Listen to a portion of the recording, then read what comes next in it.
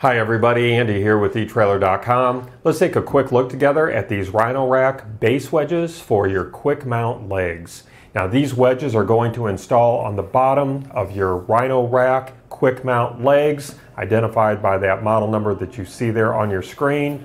And these wedges are going to provide a level mounting surface for your crossbars or your Pioneer platform.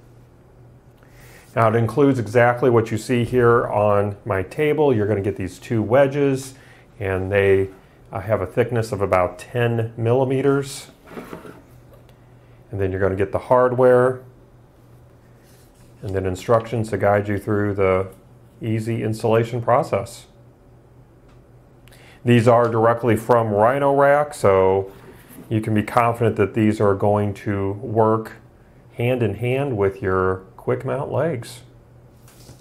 Well, that's going to wrap up our quick look today. I do hope that it was helpful for you. Again, my name is Andy. Thank you for joining me.